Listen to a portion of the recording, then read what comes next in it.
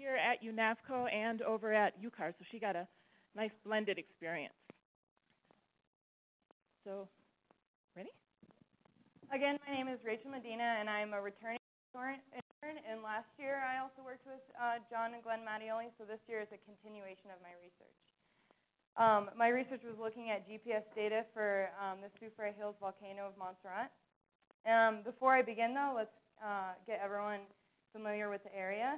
So this is a um, plate tectonic, a tectonic map of um, the Caribbean area, which Montserrat is in the black box. It's a very small uh, volcanic island in the Lesser Antilles, which is um, an ocean island arc formed by the subduction of the North American plate beneath the Caribbean plate. Um, Montserrat has been active since 1995, and since it has become active, um, has been a great opportunity for monitoring not only for um, hazard mitigation, but for understanding um, volcanic processes um, in this area, as it, like ground deformation and um, associated um, atmospheric events. So my mentor, Dr. Glenn Mattioli, has been a huge part in the last de decade of putting a network on the island and monitoring it. So the eruption that my data focuses on happened in 2003 um, in the uh, July. It was uh, the largest eruption there um, with a dome collapse leading to a forever changed landscape. Um, so this eruption, as I said, was um, an extremely large eruption that happened for two days, and the dome collapse happened um, in the middle of the night between um, the 12th and 13th. So last year, my focus was on um, the GPS data that had been processed after this eruption, uh, looking at a specific um, GPS station, Herm, located closest to the um, volcano dome collapse. And last year, uh, we looked at the vertical data for HERM, and there was this huge uh, anomaly that was consistent with the timing of the dome collapse. And this um, anomaly is um, shows the station dropping two meters and then rebounding within an hour, which is um, really uncommon.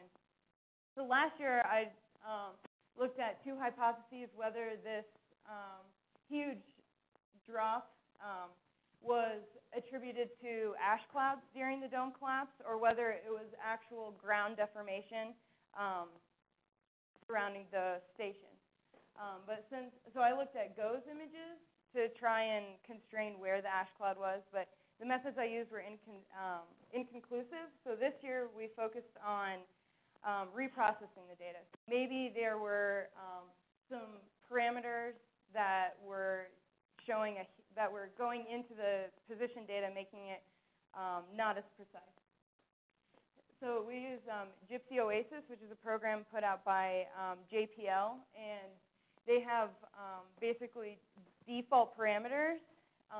Because um, when they use the program, it's usually looking at a small um, amount, a small increment of time where the atmosphere is not changing. So the atmospheric variation is very constrained. But in this region, uh, in the Caribbean, it's very tropical. This is um, Hurricane Hugo that happened in 1989. Um, so the atmospheric vents are, um, can affect the precision of GPS data quite a bit. So this summer we spent um, reprocessing the data, changing, uh, finding, changing three variables and finding which was the best for um, giving us more accurate GPS positioning and um, parameter we, we looked at was um, the random walk of uh, the zenith delay of the wet, wet troposphere. Um, the next one was the horizontal gradient uh, for the atmosphere, and then the random walk for position. Um, so to find the best variables for um, our particular data, we looked at uh, BGGY or Boggy. This is a GPS station located on Antigua, which is 48 kilometers away from Montserrat. So, so, these islands are fairly close together, so they experience the same atmospheric events, but this island is unaffected by um, volcanic processes.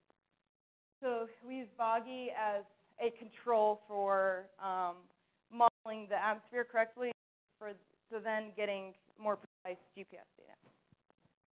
So um, again, the first parameter was um, the the random walk of the zenith delay, and it's kind of hard to see this graph, but um, light, the cyan color line is not constrained enough, so it's allowing the atmosphere to vary way too much for um, is, and then the blue and red line are too constrained, so we found that um, the black one is representative of this area.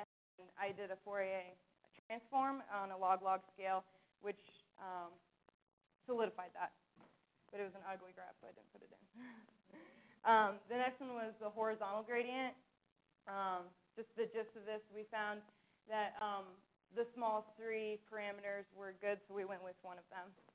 Um, and then the last one was the random walk position. Since Boggy is uh, not on an active um, island, it's really not going to move in its x, y, z coordinates. So the uh, random walk for positioning, the most constrained was the best um, for this. So after getting the three, finding the three um, variables that were the best parameters for this, then we reprocessed the data and looked at Herm's vertical position again. So looking at the graph, this is the one from last year with the old processing and the default parameters, and this is the new one. So essentially, all of the um, vertical movement has been taken out, which is more realistic. Um, so zooming into the, so these are on the same scale here with time, this 48 hours of uh, July 12th and 13th. Um, and then this is centimeters. Um, so they're on the same scale, but then zooming into Herm, by a factor of 10, you can see that it's still following the same path, move, path movement, but the variation is only um, 2 centimeters versus 2 meters, which is more realistic. So then now, so which is exciting. um, so now looking at the uh, troposphere data for this.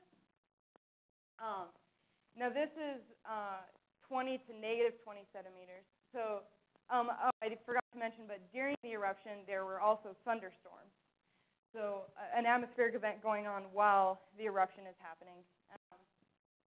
Um, so this uh, spike in the uh, wet delay of the troposphere kind of um, could be indicated as like um, signals of the storm. And then right here we see um, a spike of eight centimeters in the wet delay, which is perfect timing with the dome collapse. And during the dome collapse, there was a surge of more ash clouds. So this could potentially be a signal for the ash clouds. So now we have the bigger really happening in the troposphere versus the ground.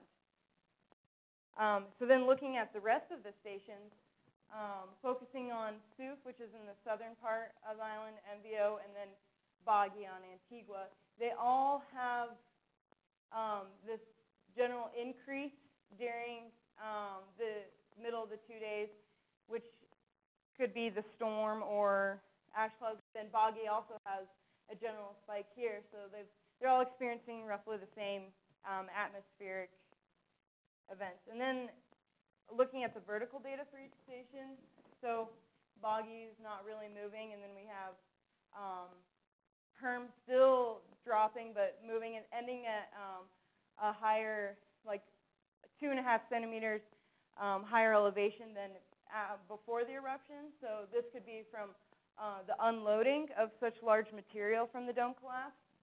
Um, and then we have Souf um, moving as well, but down. So MVO1, this shows a bigger spike than Herm, so this could have been like an air, like human air of me um, or processing.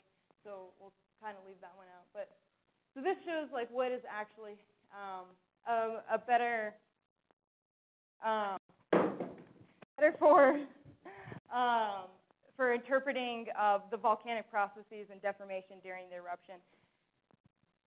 So to conclude, um, these re, uh, reprocessing uh, showed us that last year's parameters were um, very not optimal at all for this type of area. So um, now that so they needed to be adjusted, and so we found the random walk um, of the troposphere, the horizontal gradient, and the random walk of the position um, that are best suited for this area to have better um, interpretation. Um, and then this could hopefully be used for further work in this area um, to understand the volcanic processes. Um, I'd really like to thank um, Dr. Glenn Mattioli and Dr. John Brown for teaching me so much this summer and making me realize what I really like about volcanology. um, and for RESESS and UNAVCO giving me this opportunity again, and for everyone that's helped me through the summer and listened to me practice. And um, thank you. Any questions?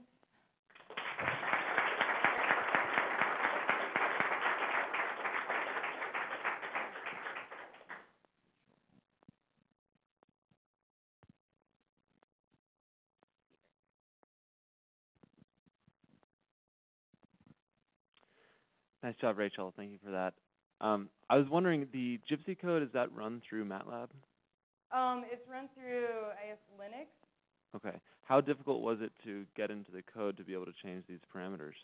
Um, well, most of the code writing Glenn did, and then uh, we, as a group, decided which um, basically variables, like an array of variables, to try for each one, um, and then just, and then I typed in Linux the command to run the code, and and then gathered all the data, graphed it, and looked at it.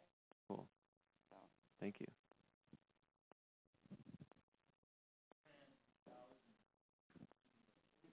yeah.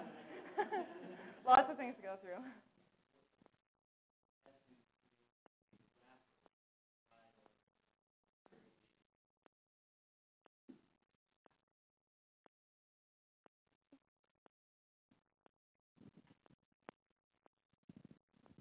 Now that you've got the uh, processing and the parameters mostly figured out, do you think you'll be able to do further work and uh, get some idea of the azimuth and distribution of the ash clouds or whatever was causing the the atmospheric conditions um, that was causing your, the problems with your data?